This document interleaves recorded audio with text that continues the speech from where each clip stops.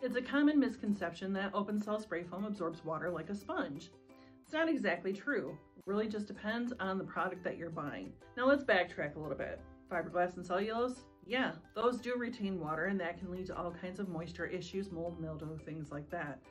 When it comes to open cell spray foam, that is actually made to allow the water to move through it. The foam is actually made that it will dry out on its own. You can use fans as well, but it's not going to retain or absorb any of that moisture. So, TLDR, open cell spray foam isn't made to retain water like some traditional insulation materials. So you don't have to necessarily worry about that. It is made to let the water move through it and then essentially dry back out.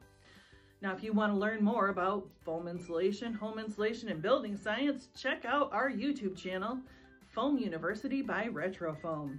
I'm your building science brainiac reminding you to bring a little science to every project.